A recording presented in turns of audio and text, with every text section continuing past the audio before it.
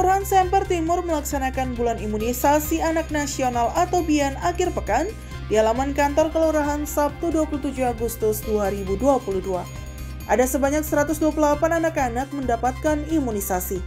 Hari ini merupakan kegiatan gebiar BIAN yang diselenggarakan oleh Kelurahan Semper Timur. Kegiatan ini merupakan inovasi dari Kelurahan Semper Timur bekerja sama dengan para stakeholders atau pemangku kepentingan di wilayah Semper Timur kata Lurah Semper Timur Sarmudi. Sarmudi mengatakan pihaknya optimis dapat menyisir seluruh anak-anak di wilayahnya untuk mengikuti Bian sebelum bulan Agustus berakhir. Harapan kita semua dengan adanya gebiar Bian akhir pekan ini, balita-balita yang ada di Kelurahan Semper Timur dapat terimunisasi secara keseluruhan. Waktu yang kita miliki tinggal lima hari lagi, dan capaian Bian Kelurahan Semper Timur pertanggal 26 Agustus kemarin baru 61,10 persen. Dengan adanya kegiatan Bian hari ini kita optimis capaiannya naik 20% sehingga menjadi 81,10%.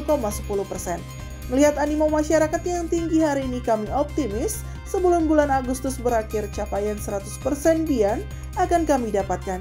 Rencananya untuk mendukung itu, besok Minggu 28 Agustus kami akan melaksanakan Bian kembali dan pada tiga hari setelahnya Senin, Selasa, dan Rabu akan melakukan jemput bola dengan door-to-door -door langsung.